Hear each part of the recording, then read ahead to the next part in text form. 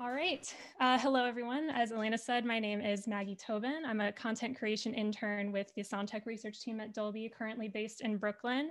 Um, as she said, my work at Dolby has mostly been focused on developing best practices for mixing music in Atmos, um, specifically for mixing on headphones. Um, so that's going to be kind of the foundation for this tutorial on how to get started mixing in Atmos at home. So just to give you an idea of what I'm gonna uh, talk about today, I'll start with a little crash course on some spatial audio concepts behind Dolby Atmos, um, particularly when it comes to how Atmos renders audio for headphones. Um, next, we'll go over how to set up the Dolby Atmos production suite for mixing at home and uh, talk a little bit about signal flow and how audio is actually traveling from your DAW to the Atmos renderer. Um, and I saw a lot of Pro Tools users in the chat, which is awesome because I use Pro Tools. So I'll have a lot of useful knowledge for you then.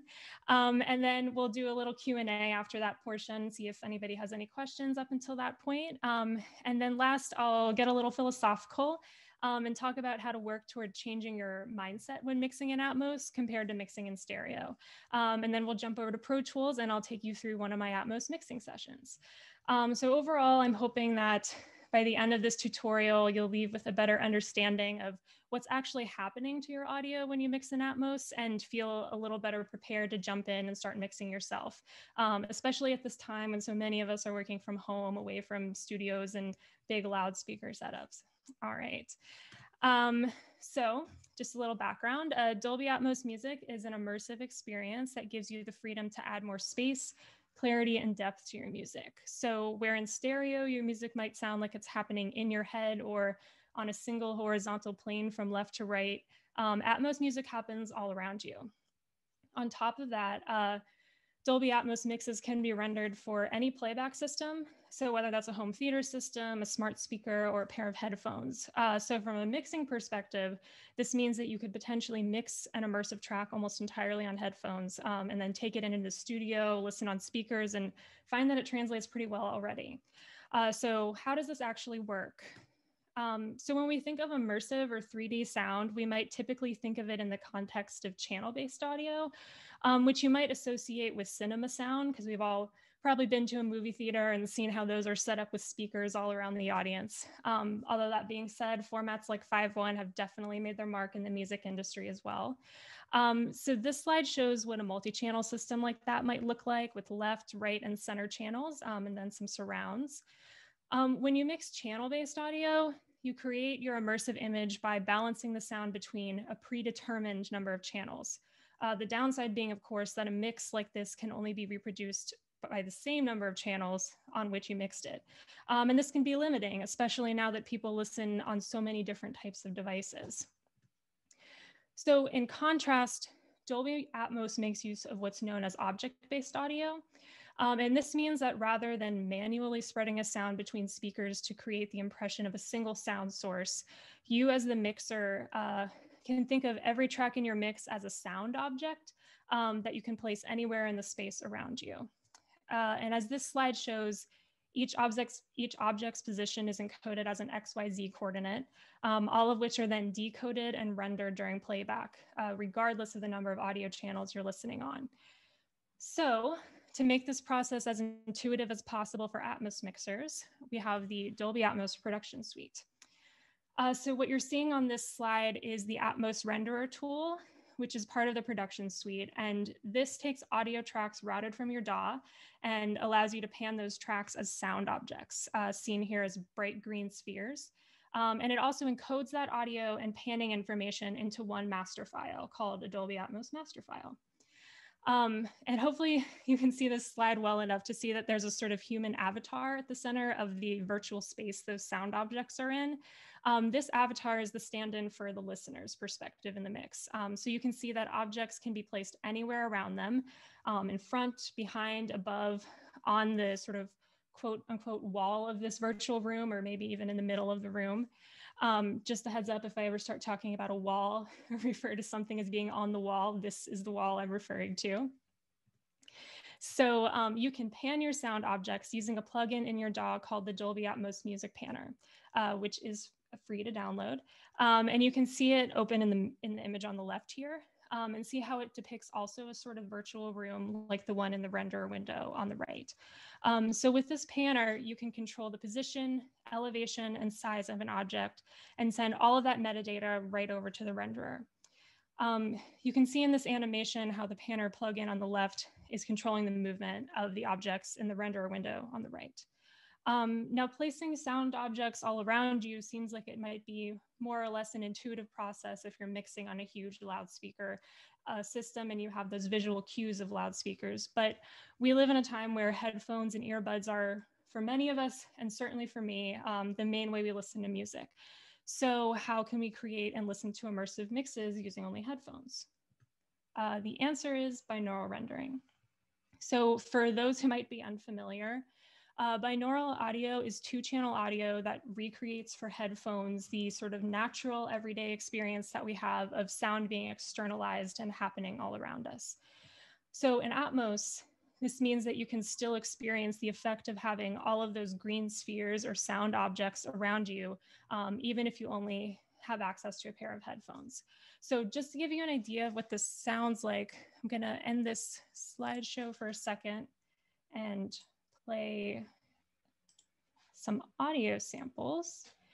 So once again, I'm gonna play that pink noise demo that I played at the beginning. This is just normal stereo. So you should hear a burst in your left ear and your right ear.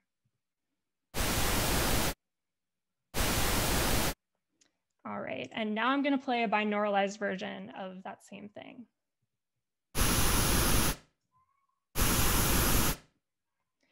So hopefully over this stream, the impression you got was that there was still pink noise in your left ear, still pink noise in your right ear, but it should have sounded a little further away from your head, a little more externalized. Uh, so here's another example using a more musical um, example. Uh, so this is a guitar. Again, you're gonna hear it in your left ear and your right ear. This is just normal stereo.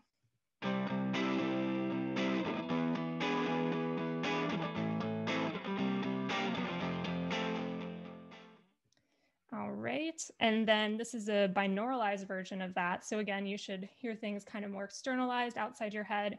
Um, and this guitar is gonna be panned to a couple different positions other than just left and right as well.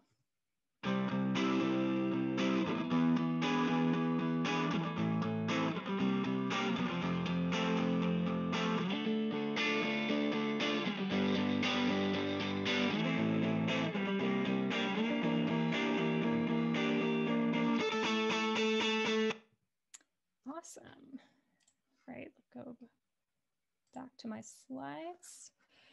So um, now that we know what that sounds like, um, I'll give you a little background on how it works. Um, the Atmos binaural experience relies on two components. The first being head-related transfer functions, um, which you might have also heard called HRTFs. So using an HRTF is like putting the sounds in your mix through a filter or EQ, um, except this specific filter factors in three different pieces of information. Um, so the first is the difference in time between when a sound source hits your closest ear and far ear. The second cue is the difference in level at which the sound reaches your two ears. Um, and this level difference happens because as the diagram in the middle shows, the ear farthest from the sound source is blocked slightly by our head. Um, and lastly, HRTFs also factor in the spectral alterations to the sound that may happen as a result of flexion, reflections off your head, torso, shoulders, and even the ridges on the outside of your ear. So when all of these cues are combined and imposed on a sound, they lead you to perceive that sound as originating from a point source outside of your head. So with this kind of processing, a mixer can get a good idea of where sounds might be placed if they were mixing on loudspeakers just by monitoring on headphones. So the second aspect of the uh, Atmos binaural experience is the simulated room response. Um, and this is essentially a subtle room reverb that helps emulate the room acoustics that you might experience if you were mixing in a sort of acoustically treated studio. Uh, so if you're primarily mixing on headphones, this feature is there to help you create something that will translate well to loudspeakers down the line. Um, but it's very subtle, very natural, so it won't clash with any artistic reverbs you'd like to use in your mix. Um, also, as a feature that's unique to the Atmos headphone experience, uh, you can control how much of this room reverb you'd like to use on each object and basically control each object's uh, perceived distance from the listener. So this way you can help the sound seem even more externalized and, uh, or you might just wanna add contrast and depth to your mix. Um, but don't worry, we'll go a lot deeper into that a little later. And I apologize, there's a bus making a lot of noise outside my apartment right now, so I hope that's not coming through too loud. Um, so now that we have a little background on what kind of processing is going on under the hood, uh, let's talk signal flow and how to go about setting up your DAW to mix in Dolby Atmos. So one thing that I noticed when I started mixing in Atmos was that once I took the time to really figure out how my DAW and the renderer were connected, um, things got a whole lot easier. um, so making sure up front that these two pieces of software are sort of speaking the same language um, can help with so many things from making better logistical decisions when you're organizing your session um, to avoiding any errors when you're all done mixing and you're creating your master file. Uh, there are some very informative videos on the Dolby Professional site uh, that cover aspects of this too. And um, hopefully that link should be in the chat soon. And um, I'll also uh, post a link to it at the end as well. Uh, but I figured I would take this time to go through setting up a session um, from beginning to end and give all of you a chance to ask any questions um, that you might have in person. So to mix in Atmos, there are really only three basic things you need. Uh, the first is an Atmos compatible DAW. So that would be either Pro Tools Ultimate, Logic Pro, or Ableton Live, um, either the standard or suite versions. Um, you also need the Dolby Atmos production suite, which includes the Atmos renderer. And lastly, you need something to monitor on. Um, Atmos can of course be used with several different speaker setups, but um, as we've just talked about, you can absolutely monitor on headphones. So that's what we'll be focusing on today. So just to break this general signal flow down a little bit more, um, each track in your DAW gets sent over to the renderer as a sound object. Um, this includes the audio, but also the panning metadata, which tells the renderer where each object is positioned in the mix. Uh, you also have the option to send audio to a pre-configured 712 uh, channel-based bed in the renderer. And the way that I kind of look at it, um, I see this bed as being there to offer a sort of bridge to object-based audio uh, for anyone who might be more familiar with channel-based formats. So personally, I use mostly objects in my mixes, but I do use this bed for immersive reverbs and delays, uh, which we'll talk about a little bit more later, um, because it's very easy to route those effects right into the bed. So all of this information can be sent to the renderer using a virtual interface called the Dolby Audio Bridge, uh, which has 130 inputs and outputs, and it comes free with the download of the Atmos production suite. So uh, once all of the object audio and panning information reaches the renderer, you can set the output of the renderer to whatever you use for monitoring, uh, which for today's tutorial is gonna be headphones, obviously. And lastly, once your mix is all done, the renderer lets you output several kinds of files and deliverables from it. So this includes your Dolby Atmos master file, which again has all of the object audio and panning information encoded in it. Um, and this can serve as a sort of source file for um, any other deliverables you need to make for your mix, like channel-based speaker renders. Um, for example, if you know your mix is going to be played back on a 5.1 or 7.1.4 setup in advance, you can make those renders ahead of time. Um, you can also make something called an ADM B-Wave file from your master file, and this is what you would upload to streaming services if you wanted to release your Atmos mix. All right, so now that we have the basic framework for how this all works, let's set up a session. So I'm gonna head over to Pro Tools. Um, so you wanna start with both your renderer window and your DAW open. So as I said, I work in Pro Tools, so that's what I'm going to use for today's demo. But in case there's any Logic or Ableton users, this basic signal flow remains the same for those DAWs as well.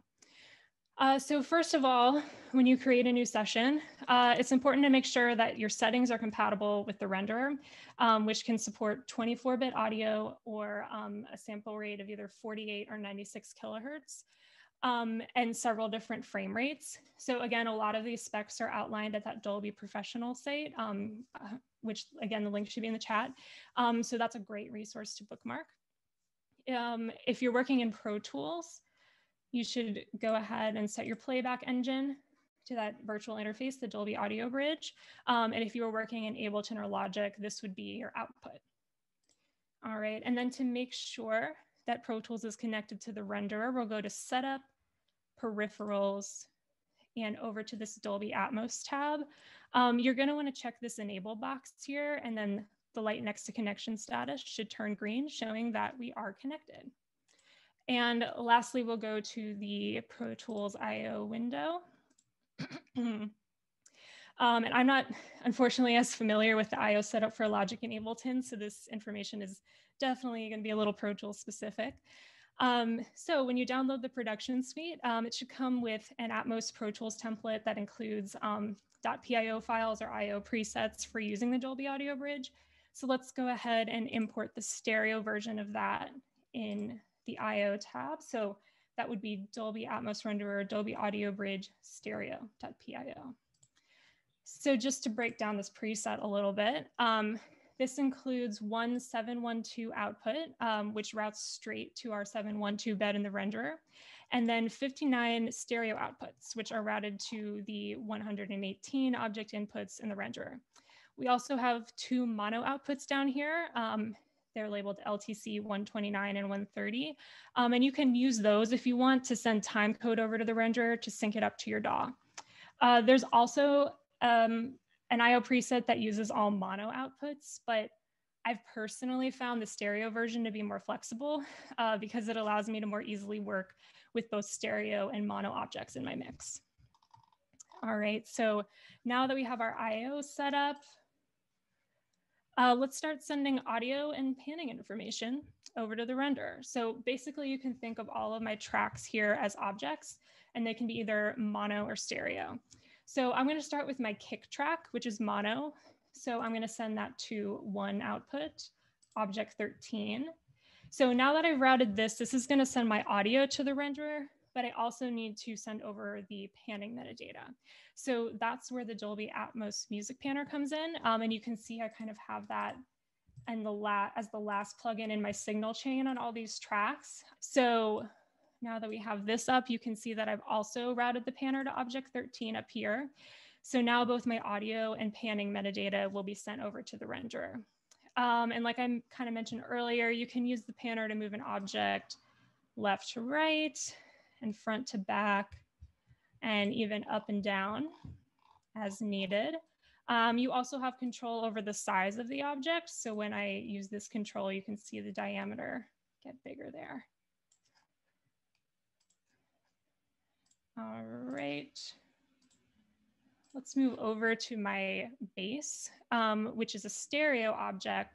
So I'm gonna route it to two outputs, object 11 and 12. So if I open my panner, again, you'll be able to see that it's also routed to objects 11 and 12. Um, and since this is a stereo object, there's a couple different parameters to work with. So um, the left and right objects can mirror each other over the x-axis like they are now, or over the y-axis, or both if you want. And then you also have the option to put them in the exact same position if that's what works for you. All right, um, so Pro Tools Ultimate actually has an Atmos panner integrated directly into the DAW, so that can be a great option for you to use for panning too. Um, I personally prefer the interface of this music panner, um, and it's also the only option for panning um, if you're using Logic or Ableton. Um, and it's also free to download. so now that we have our IO set up and our tracks are routed to the Dolby Audio Bridge, let's head over to the render window. All right, so we saw this UI a little bit earlier. Um, we have our virtual space, which is gonna show a visual representation of where all of our objects are panned. Um, on the left, we have these 128 circles, which are representing all of the object inputs that you can send audio to from your DAW. Um, and you can see the first 10 inputs are grouped together by this purple box. Uh, those are the inputs for the pre-configured 712 bed. Again, already set up ahead of time for you. So now to configure this for headphone monitoring, I'm going to head over to my preferences menu. Um, I have my input device set as a Dolby Audio Bridge so I can get the audio coming from Pro Tools. And my output is set to my audio interface or whatever output you want to use for your headphones. Um, one of the next options I have is to put the renderer in headphone only mode, which I'm going to do um, since we'll only be using headphones for this session. Um, and lastly, on this tab, you wanna check that, again, your frame rate and sample rate match whatever's being used in your DAW, uh, just to make sure, again, they're speaking the same language. Um, and now I'm gonna head over to the headphone tab. Um, you can see that my render mode is set to stereo. I'm gonna go ahead and switch that to binaural, which as we talked about earlier, is gonna let me hear a 3D representation of my mix on headphones. And last, I'll click accept to save all of these settings. So now uh, you're all set to be playing audio from your DAW to the renderer. Um, I have some IO workarounds going on today, so I'm able to stream audio out to everyone. So you won't be able to hear this particular audio I'm gonna play now, but um, I'm just gonna press play for a second so that you can kind of see what the visual representation of this mix looks like.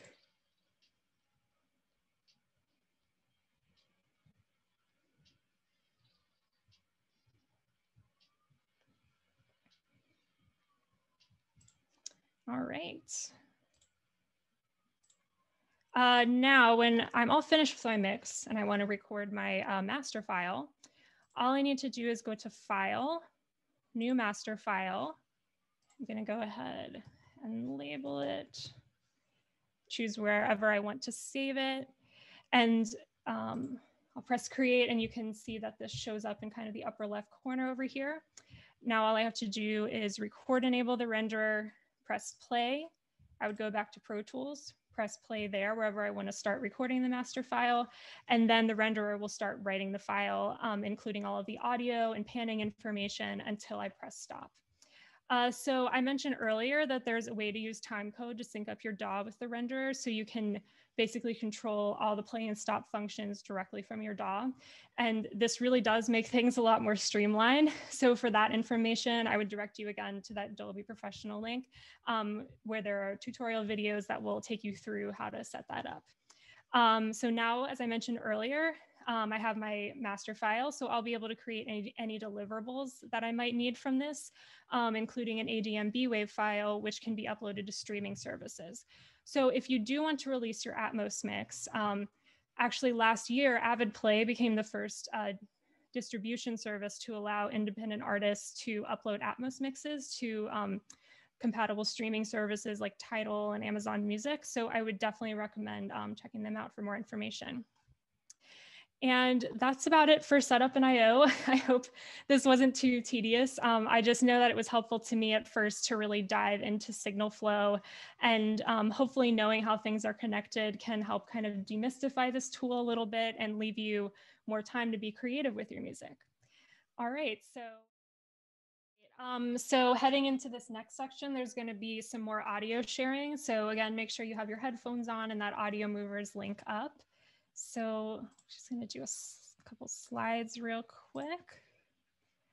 All right, so uh, before we jump into the Pro Tools demo, um, I just wanted to get a little philosophical and talk about some ideas surrounding immersive mixing that have come out of conversations I've had with other engineers, uh, some recent immersive audio panels I've been to, and also just my own experiences. Um, and these are mostly just some things to consider as you get ready to start an Atmos mix. Um, so the first point is on sound field expansion that is afforded by the Atmos environment. So in stereo, you have just two channels to focus on, but in Atmos, you have 360 degrees of space and elevation around you. Um, and even though surround sound has been around for many years, I generally think that DAPS does make the process of um, placing sounds in these regions uh, behind or above listeners more accessible for more people who are maybe new to the concept of immersive sound. So I remember this larger sound field being the thing that overwhelmed and baffled me the most when I first started using Atmos, because I now needed to pay attention to not only the left-right balance, um, but also front-back and up and down. Um, and there's a bit of debate about what's the best way to make use of this space. So this brings me to the second point, should I be trying to mimic reality with my Atmos mix and basically return to the original purpose of recorded music, essentially, which was to create a record of a live performance? Um, or should I be using these tools to create a completely abstract and unique environment? Um, so there's no correct answer to this, uh, but I do think this choice is largely genre dependent. So for example, it's easier for listeners to accept an abstract environment when listening to something like EDM or even a lot of current pop and hip hop, because um, a lot of those sounds are synthesized to begin with. But then when you get into genres like classical and jazz, and to a certain extent like rock or folk, um, these might be more likely to be recorded acoustically and spatially from the beginning. So they might be more conducive to a more realistic approach. Um, at risk of limiting creativity, um, I think some consideration also has to be made about what consumers want um, and whether they'll accept music flying around their heads or if they prefer a more traditional experience of hearing the music played out mostly in front of them. Um, and I don't think there's really an answer to that question yet. So lots more exploration to be done there. And then lastly, um, many stereo and channel-based mixing techniques are based so much around the mixer's knowledge that the mix is going to be played back on a certain number of channels. Um, but with the flexible rendering that you now get with Atmos, you don't necessarily need to place a sound somewhere because you know there will be a speaker there. So we might see this lead to artistic shifts as simple as things not being as compressed in Atmos mixes compared to stereo because you just have more space to put things. Um, or we might see even more radical shifts, such as mixers giving more attention to the attributes of individual objects uh, rather than focusing on how a mix is glued together as a whole um, and sort of taking a more VR based approach to mixing. Uh, but overall, I think it's important to remember that stereo mixing techniques have evolved so much since that format first emerged. So it's likely that the way people are approaching mixing in Atmos now is going to evolve a lot over the years. Um, and it's going to be exciting to see what new innovation and creativity comes from that. All right, so I'm gonna go ahead and switch over to Pro Tools again.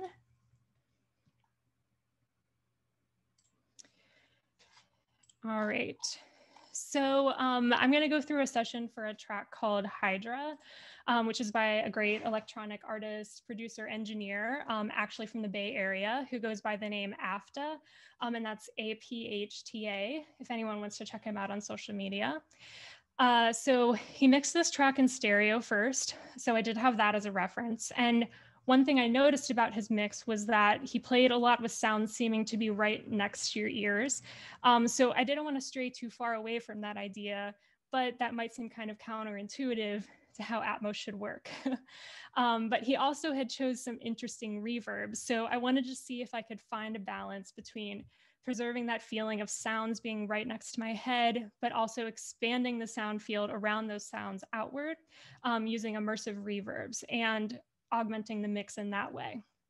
So I think this mix uh, represents a convergence of a lot of the different techniques I've tried out over the past few years so I thought it'd be a good one to use for this tutorial. Um, and it's also a good example of sticking to the artistic intent of original mix um, while still capitalizing on the new things that Atmos can bring to it. Um, I also want to emphasize up front, again, that mixing in Atmos is such a new thing.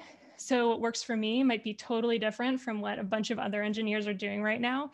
Um, so hopefully this demo will be able to give you some guidelines to start with, but honestly, you should try out whatever you want and do whatever sounds good for your music. So I'm just gonna go ahead and play like the first minute and a half or so of this mix, and then we'll get into the Pro Tools section.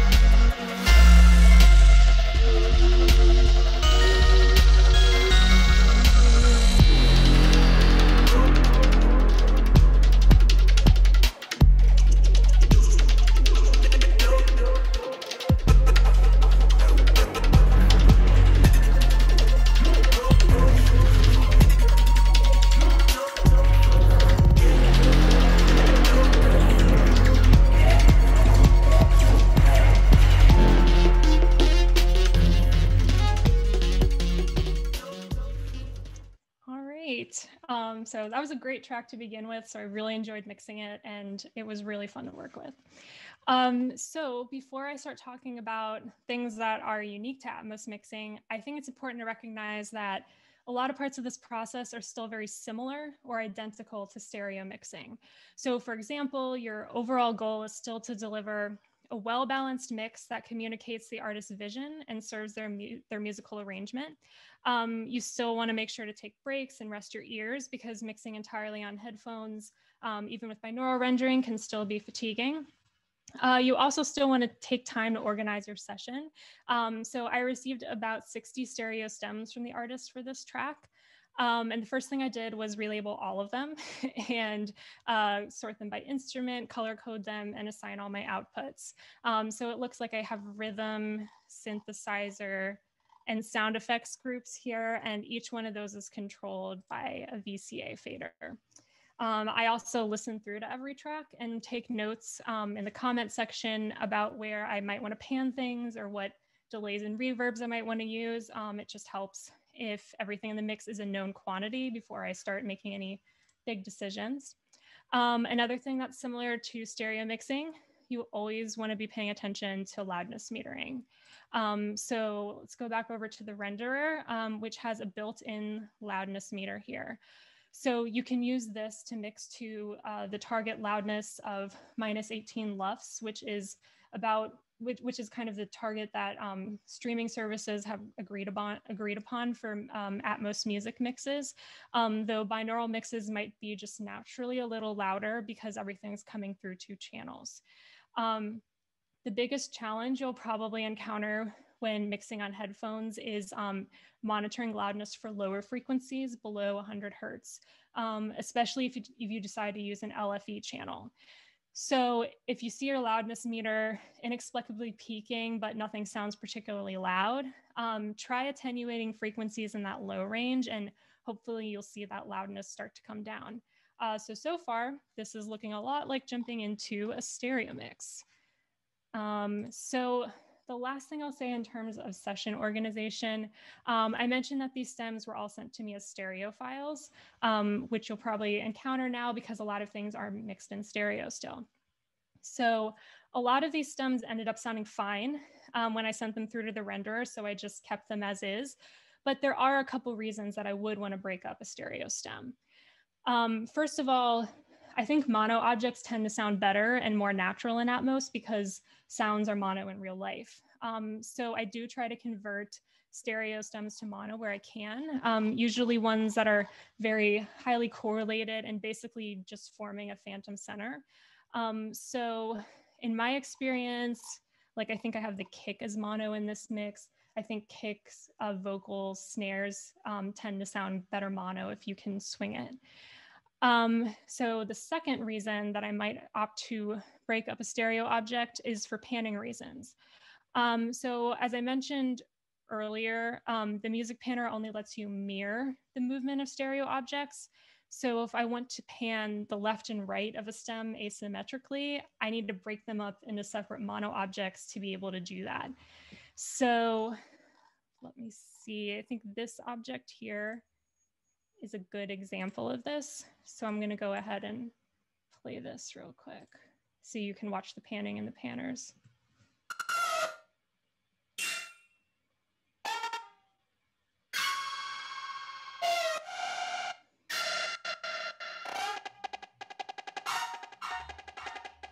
Yeah, so there's no way that I would have been, been able to make that work if I just kept those together as, as a stereo object. All right, so once I have all my tracks organized, um, I typically break up my mixing into three stages, which are panning, frequency balance, and spatialization. So let's keep going with panning, uh, which we've kind of already been talking about. So that means that right away, you're thinking about basically all of the philosophical points that we talked about on the slide that I showed you before. Um, so how do I make use of all this space around me? Am I trying to create something based in realism or something more abstract? Uh, what channel-based rules can I break now that I'm not tied to a specific number of channels? Um, I'm personally probably very biased by now because I've spent so much time um, mixing on headphones, but I actually think one benefit of monitoring binaurally um, at this stage is that you aren't inhibited by the visual aspect of speakers and might make some more adventurous decisions because of that. Um, but that being said, there are a few things that I'd recommend keeping in mind for panning on headphones. So as I click through these plugins, you'll notice that um, I put a lot of my elements on that wall of the virtual room. Um, this is because if I were to play this mix back on a speaker system, a sound place off the wall um, would need to be played out of more speakers to place it in that position. Uh, so I'm, it might sound more spread out and less present, even though it might sound totally fine on headphones. Um, so I wouldn't say you should never place things off the wall, and I definitely do sometimes, but I would keep this in mind when you're deciding where to place super important and grounding elements like drums, bass, or lead vocals. Um, I would also encourage you to challenge ideas about what elements need to be placed toward the front or middle of the mix. So for example, um, I generally pan my bass across the front of the room, but this object um, is a bass synth and it's panned behind my ears. Um, this kind of helps spread out the low frequency energy in the mix and also helps counter all the movement I already have going on in front. Um, I would also just in general recommend making use of the areas 90 degrees to your left and right, um, and even kind of right behind the ears of the listener, like this object here. Um, let's take a listen to hear what this sounds like.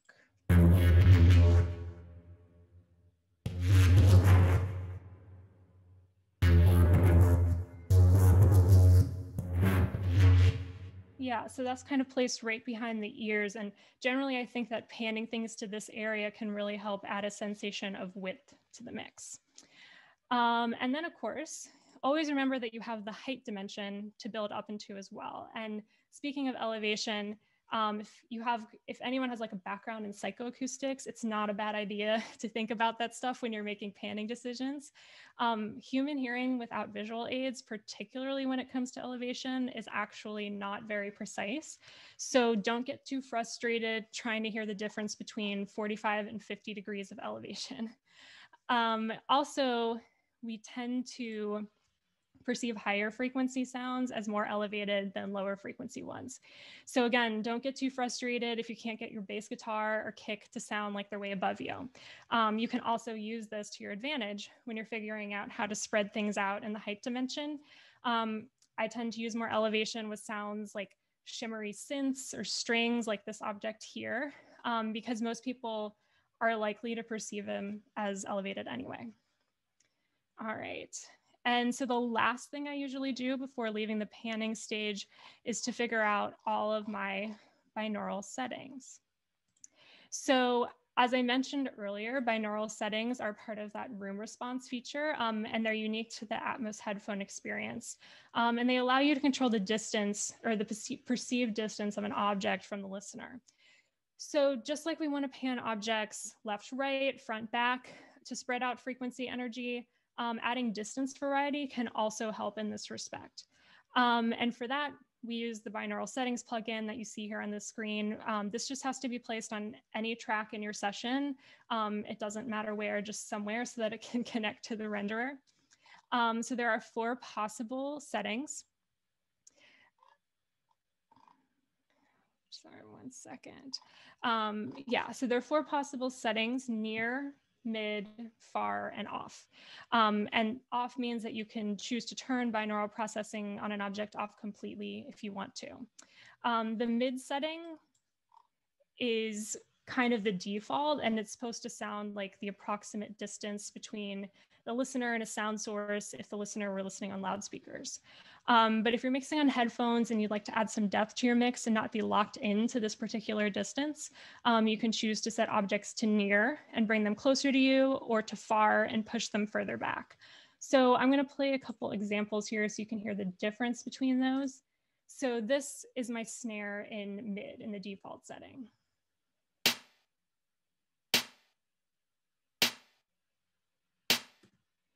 All right, and this is the far, that same snare in the far setting.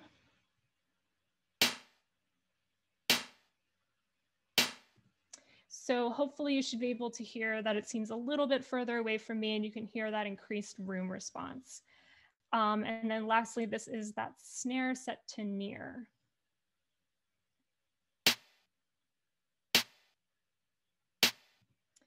So in contrast, much drier than those other two settings. And uh, the near setting really should sound like it's quite close to your head.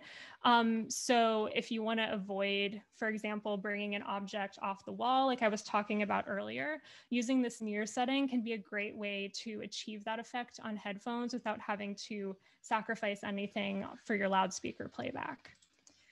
Um, so as you can see in this plugin, um, I usually try to distribute my objects pretty equally between near, mid, and far. Um, ultimately, I think these settings can be pretty dependent on the timbre of an object, uh, but generally I tend to put rhythmic sounds like drums um, in near or mid to give them a little bit more impact.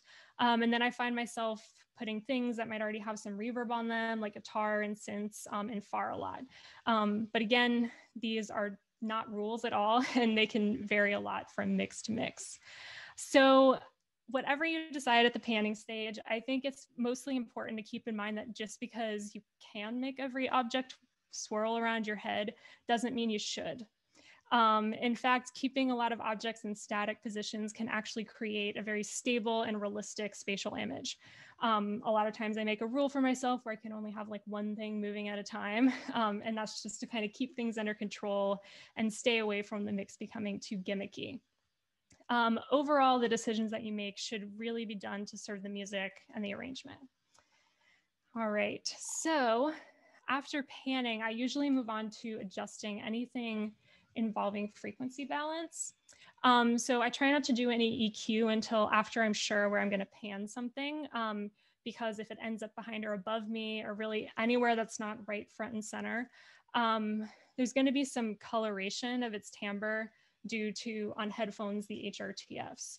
Um, so I wouldn't want to spend too much time shaping a sound only to find it sounds totally different once I pan it behind me. Um, one great thing about the Atmos mixing process is that you can use pretty much all of the same plugins that would that you would use at this stage in a stereo mix. Um, so I mostly use like FabFilter, Waves, iZotope, all stereo and mono plugins, and they work just fine um, because all of this processing happens before you even send the objects over to the renderer.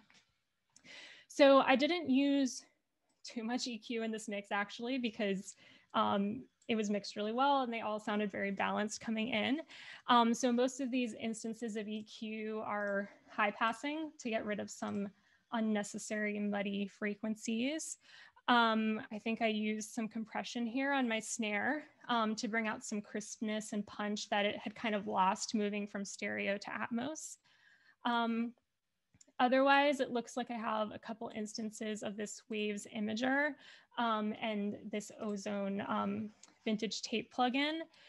So um, the imager I used because this stereo stem had like a very strong phantom center. And I found that using the imager kind of pushed the sound um, to the sides of the mix, um, leaving a lot more room for objects in the center. And then this uh, tape plugin, um, I use a lot when I break up stereo stems into mono objects. And then if you send each one through at slightly different settings, um, it helps again to de-emphasize that phantom center, make the image sound wider, more diffuse if that's what you need. Um, also, if you get stereo stems that are hyper compressed, um, they can sound a little lifeless in the Atmos environment. So I've found that harmonic tools like tape machine plugins or um, exciters can be really useful to kind of re-energizing those sounds. So yeah, not too much EQ in this mix, but that's pretty typical of something that's already been mixed in stereo beforehand.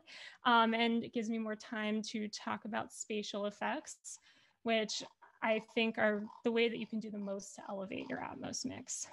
Scroll down here to the bottom. So this is the part of the Atmos mixing process where you'll probably wanna add some extra tools to your workflow that you wouldn't use in stereo. Um, and by that, I mean mostly immersive reverbs. So I mostly use Exponential Audio's Stratus 3D, um, which can go all the way up to 712. Um, some others I've used are Phoenix Verb, also from Exponential Audio. Um, and I think Waves also has a few surround reverb plugins. Um, immersive reverbs work really well in Atmos because first of all, they can feed right into that pre-configured bed. Um, but most of all, they're great for, for providing like subtle reflections that can really make you feel like you're in the same room as the music. Um, so I have four different reverbs going on in this mix actually. Um, there are two 712 reverbs, which I have routed to my bed. This first one here um, is dark, but a relatively neutral chamber reverb. Um, I use this for most of the elements in the mix. Um, and then the second one has more character, um, sounds brighter, more metallic. Um, and I use this for some brass hits and some other synths and like more intense, more intense sections of the mix. Um, I chose these mostly to match the stereo reverbs that were used in the stereo mix. Um, but it's definitely typical of most of my Atmos mixes to have like one neutral reverb to add spatialization, um, and then one or more aesthetically adventurous reverbs to add character and individuality. So here's an example of what this more distinctive reverb sounds like. Um, all right, so this is my brass hit first totally dry. Or dry as in that's the stem that I received. Um, and then this is what it sounds like with my reverb.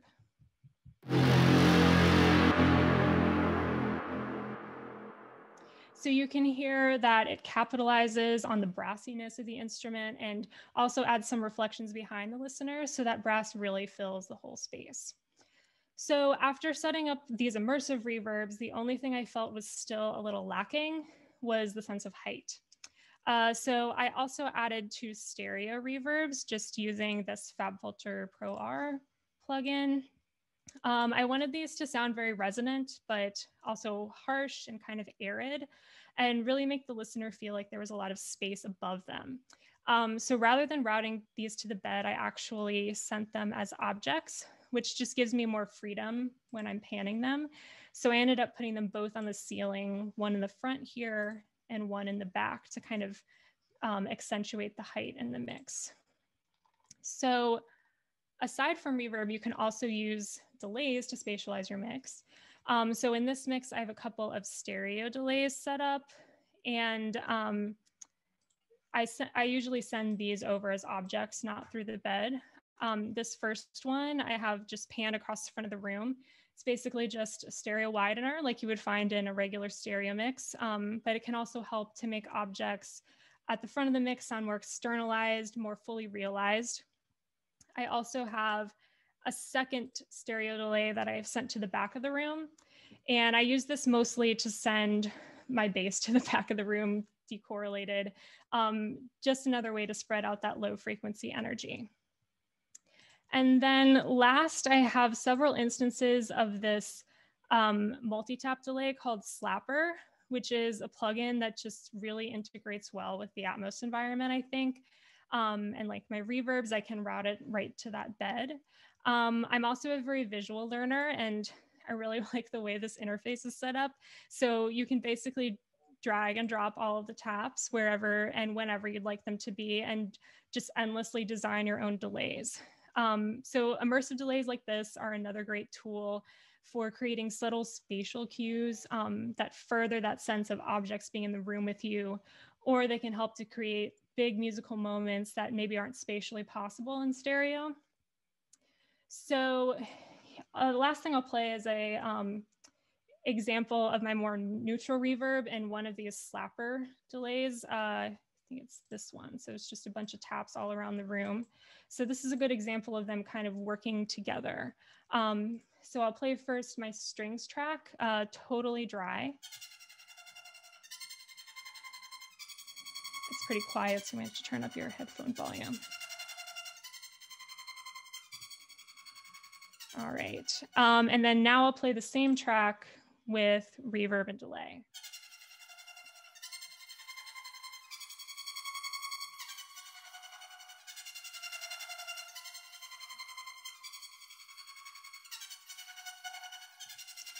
Yeah, so hopefully you're able to hear those reflections that Slapper is just sending all around the mix, um, which I think help to emphasize the elevation of this object and also make that left right trajectory um, sound a little smoother and more natural.